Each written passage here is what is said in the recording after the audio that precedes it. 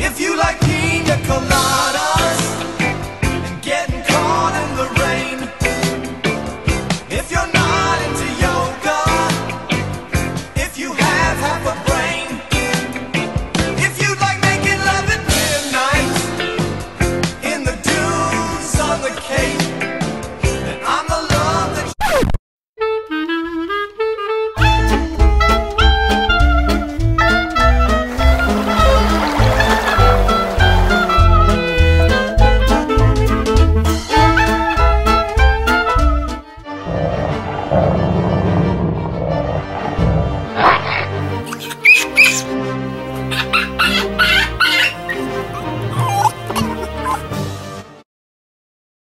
Ah.